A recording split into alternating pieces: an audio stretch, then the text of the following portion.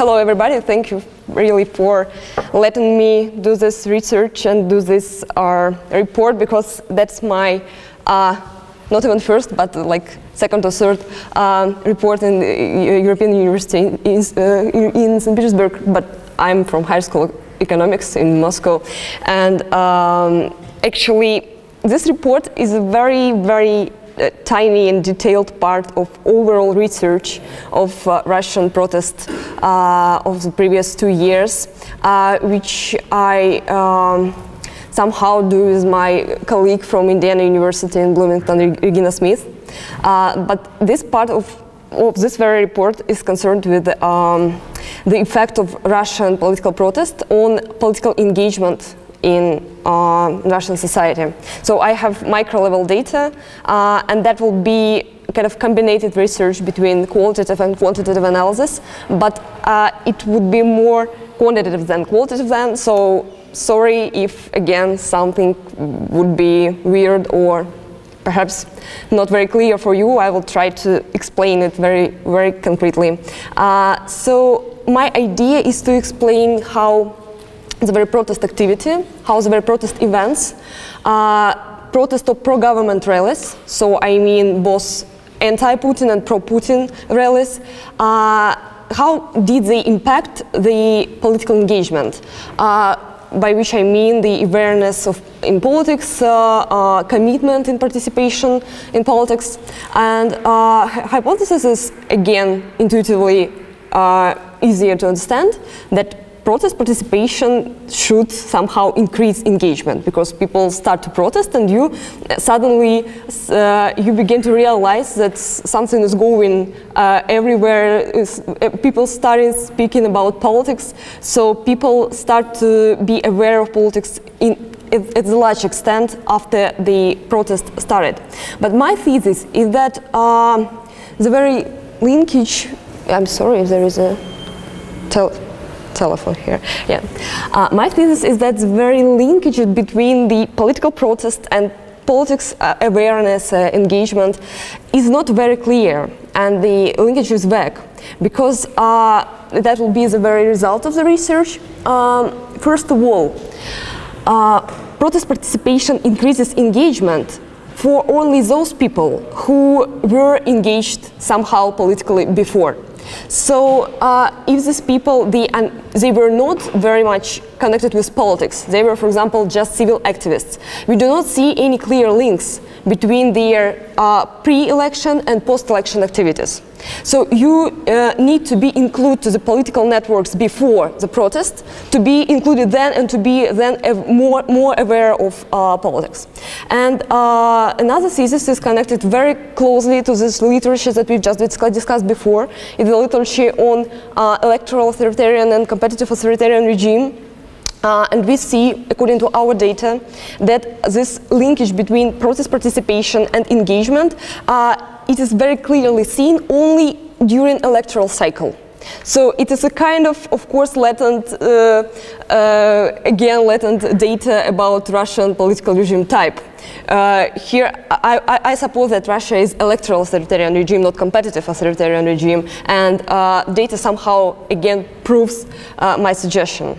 Uh, here is a distribution of attendees, of people who were presented like physically by, by their bodies uh, at rallies and protests uh, during actually all the electoral cycle, uh, State Duma plus presidential elections. Uh, I think it's quite clear that you see the waves were parallel uh, so it all started with, of course, anti-government protests, and you all, of course, are aware of that. Uh, and then pro-government trend, uh, which is the second line, it was like a double in the anti-government trend. Uh, of course, it was a little bit weird for their independent observer, but still we understand that most of the uh, pro-government rallies, they were organized and mobilized uh, fourthly, and I've discussed it uh, previously with our data, it, it, it is actually proved by our data that uh, government rallies, that rallies for Putin, I mean, directly, they were organized and they were organized uh, in a forced way. Uh, it was not just the very decision of people to come to these rallies. And it is very clearly, it is very clearly seen in this very graphic. Uh, so the research problem here, uh, again, is about the explanation how and what was the effect of political protest in Russia on the further political engagement of people. Uh, and we are interested now in two categories of people. First of all, in so-called casual activists. So they are not uh, frequent, uh, full-time activists who really perceive their activism as their full-time job, but just ordinary people who just want to be presented somehow uh, in the protest movement. So we call them casual activists. And I will clarify all these terms later. And so-called neutral people. So people who uh, perhaps somehow have some political feelings, uh, some political attitudes, but still they uh, for some reasons, do not want to participate in this very opposition movement. Um, so we call them neutral in terms of their not, because they are not presented in the very rallies. Um, but for, for, data for today uh, will be concerned only with casual activists because we have uh, again different kinds of data and I just don't want to mix this data uh, a lot. So if you have any questions about, for example, neutral group, I am happy to discuss uh, them with you later, perhaps. Uh, so we, we see that um, significant part of people, they actually dropped out from the protest movement after the very, uh, the very peak and the very uh, zeal of the protest in, uh, in, in, the early spring of 2012. And uh, after the presidential elections, the level of activist recruitment uh, was really very low. And we see that uh, according to our data, we have some panel data, which means that we track the same people in the same situations on the rallies. We see that lots of people decide not to participate in the protest elections, uh, sorry, in the protest uh, movement and in the protest uh, rallies. and it's very important to explain why do these people refuse to participate and to continue to their participation, despite protest movement actually had some uh, concrete and significant success, uh, especially comparing with uh, protest activities during the previous years. So why political engagement? Why not, for example, political participation or something like that? Uh, under political engagement, we mean the very committed participation in rallies uh, or activism. What does it mean committed?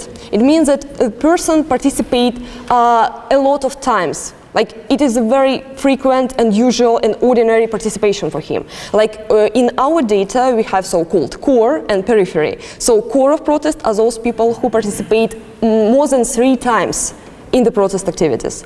Uh, and those people who participate, for example, one or two times, they are just like casual protesters, they are periphery.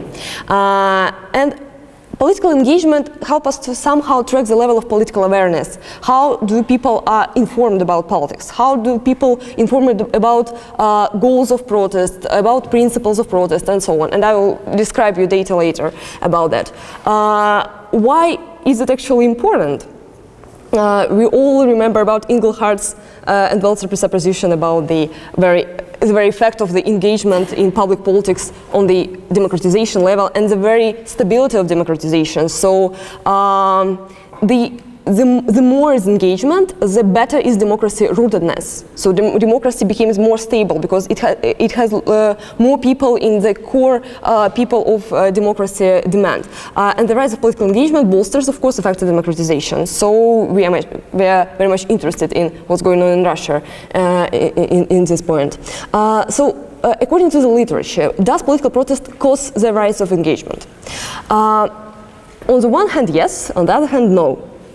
Why yes? Uh, first of all, Timur Kuran uh, showed us that like public preferences they can significantly change after the political protest started.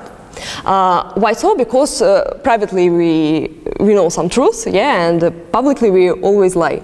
Uh, and when we see that a, a, a, lot of people around us, they also, for example, are, are opposite for the regime, uh, it is much easier to us to again join the opposition movement. Uh, another argument for, for the very uh, defense of this linkage between political engagement and uh, protest is that mobilization itself has a demonstrational effect. So the more you mobilize the people, the more other people again decide to uh, to somehow join this very movement. So it's quite clear, and I think uh, it's it's not worth to be discussed in such details. Uh, but we have some alternative explanations. Uh, the first explanation is uh, from uh, so-called um, electoral authoritarian regime literature by again Levitsky and Way and Schedler for like the, their counterpart.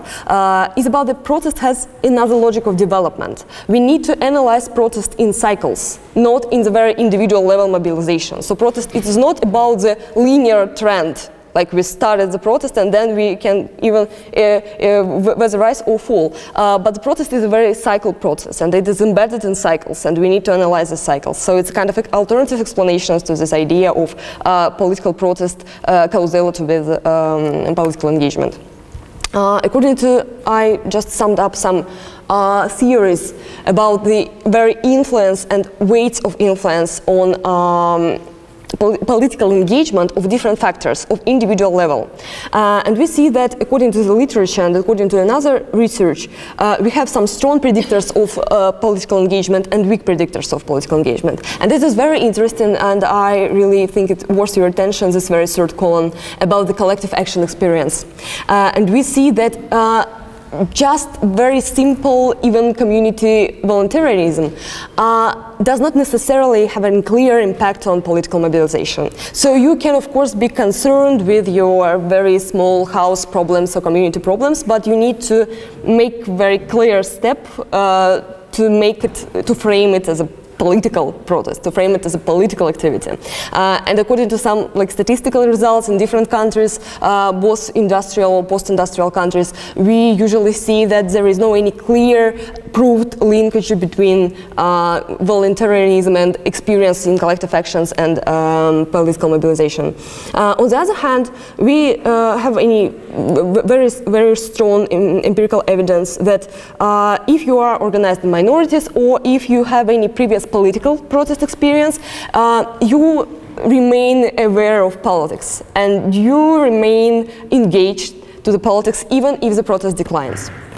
Uh, so we are very much interested in this column and we are interested in column about socialization because according to our very brief and draft results uh, about our protest data we see a very uh, high impact of higher education and very high impact of our humanitarian experience, so-called. So I mean the very specific type of higher education which is connected directly with the political awareness, like sociological, political science education, and so we have a lot of people in our sample uh, who were graduates of uh, their humanitarian liberal arts departments.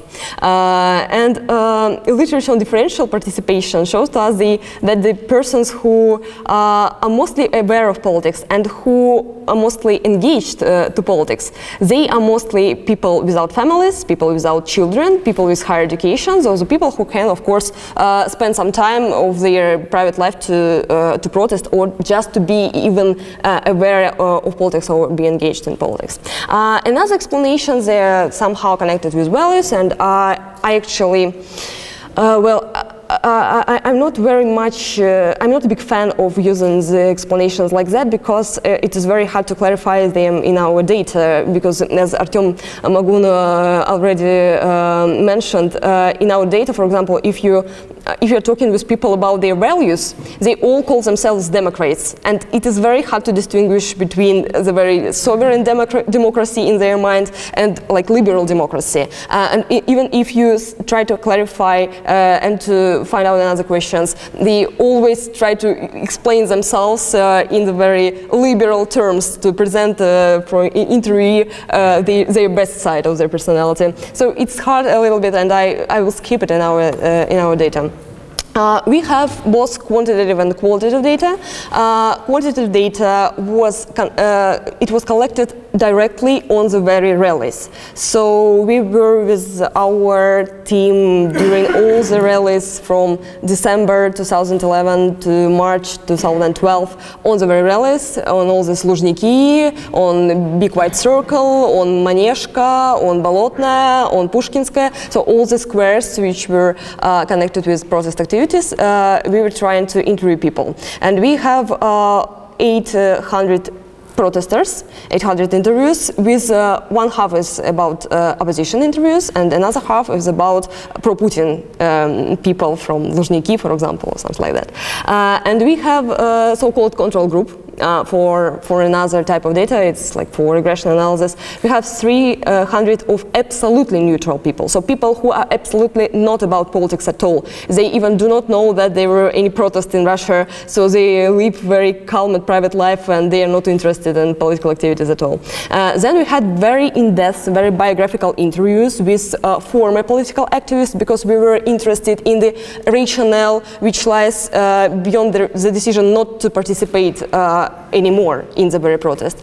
And uh, 21 in that interviews with full-time political activists, so people who mm, developed themselves and who decided to improve their political skills by being full-time political activists, not just the very common mm, casual participant. Uh, and also we have like five focus groups with neutral people again, uh, because we were interested in the logic of being neutral, of being not politically aware, of being isolated from politics uh, like um, consciously, yeah, by, by, their own mind. Uh, and the time is very important in case we are talking about the cycles of political protest. Uh, we were trying to get the data in both uh, cases in, in, during the decline of protest activity and during the increase of protest activity. So you understand how it's really important to check uh, how the, their answers are dependent on the very cycle of protest. So, first of all, some very brief biographical characteristics to speak with you about so-called socialization factor of being politically aware. First of all, you see that uh, who's stalwarts? Yes, stalwarts are our core participants, participants who participate more than three times in uh, any protest activities. And casuals, uh, they are not so frequent uh, guests uh, in protest rallies. Uh, place of residence, you see that most of them are from Moscow or Moscow Oblast, and the, the, the, people who are casual participants, they are from Moscow Oblast mostly. you see that um, the, the, the, very, the Moscow Oblast is presented much more frequently in their category. Sorry, oh, thank you. Um, Oh, I'm sorry about the time. Yeah, uh, this uh, situation with sector of work is very important because you see that uh, there is a clear dominance of private sector. Uh, we're all talking about oppositional rallies now, yeah? Uh, the employment is uh, about of course, being employed or being student, and uh, dominance of male gender, as always, uh, uh, in the meetings like that. and what what is here is very important is about the uh, connection uh, actually that's a table uh, which uh, includes only uh, those factors who were significant uh, in our analysis. And the most significant factors were actually the um, awareness in politicized internet networks. So being presented in for example Facebook or reading some internet blogs which are directly connected with political activities and so on and personal protest networks. So whether the person had before the protest some people who were somehow included to protest movement.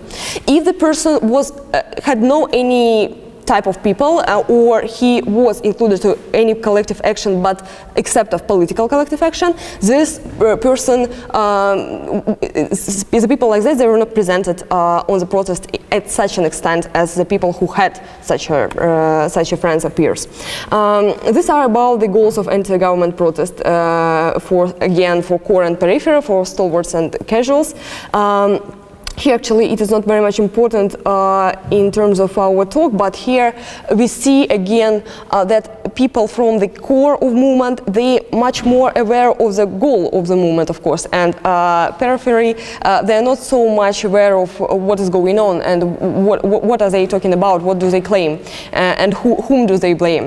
Uh, actually, that's, I have, sorry, have no time, that, that's interesting, um, the difference between pro-government and anti-government rallies and um, our argument about the uh, mobilization of people on the pro-Putin and anti-Putin movement.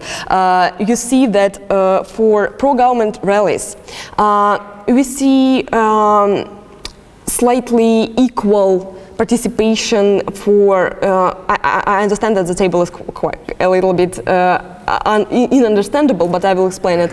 Uh, it means here that um, in any type time of protest, in any event, in any protest event, you have a fairly equal type of newcomers of newcomers. It means that you like have uh, constant mobilization on pro-Putin activities. And here's the, uh, the data for anti-government rallies. And you see the, the difference is very clear. For anti-government rallies, we had one clear core, clear cascade uh, of people who were mobilized on, during the first wave of protest, and then that was the same people who were mobilized during the second uh, uh, wave of protest. So we had no any uh, really like new people, newcomers during the second and the third waves of uh, anti-government rallies. It means that uh, anti-Putin movement has a clear problem with mobilizing new people to their core, not their periphery, but their, the very core of the movement. Uh, and here is. Um, something is, yeah. Uh, some conclusions and results, of course, yeah, uh, according to our analysis, we see that uh, the factors that really matter for being always aware of politics, of being constantly engaged to the political matters, are factors connected very much, very closely with uh, networks, uh, with relevant groups who are aware of politics. So, uh, if you have any politically biased networks, you have any past political activity, or you re realize very concretely the movement goals, so you will be presented on uh, first, second, uh, third and other waves of uh, political protest. If you do not have any politically uh, connected networks, that means that perhaps uh, you will not you will be excluded. You you will be somehow isolated by the uh, from the protest. Uh, here are some citations uh, which I really wanted to show you perhaps in in, in more extent but still. Um, most of our activists who decided to participate uh, to continue to participate in political protest. They are people from very much active political networks. Um, yes, I'm absolutely uh, finishing that. Uh, and they were protesting since their early childhood, and that's a very common narrative for all the political activists that they were, they had previous protest experience before the protest started. Actually, uh, you see that started political activity in 2001, and since my early childhood, uh, and so on. So the conclusion is last, last two slides. Uh, you see that first of all, we have very clear differences between the mobilization mechanisms of pro and anti-Putin participants, uh, and that uh, anti-Putin participants, they are real political movement, and this movement, of course, suffers from very common problems of all political movements, is to mobilize people again and again after the, uh, the very protest collapsed. Um, and the very mobilization is based uh, not only on the values, but it is based on the networks, and uh, especially political networks of these people. Uh, it means that um, actually uh, protest experience can, uh, uh, th that was actually in, in, our data, but I have no time to speak about it uh, in more details. Protest experience can distract people from participation. Uh, they can be somehow disappointed by the protest experience and refuse to participate more. Uh, and only core of protest re remained engaged because they are, they are situated in these political networks. And that means that perhaps the only way to counteract these uh, problems with mobilization of, uh, to political protest is that frame everything as political stuff.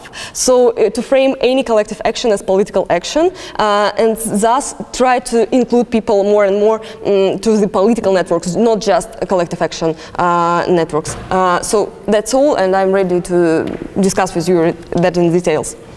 Okay, yeah, thank you very much.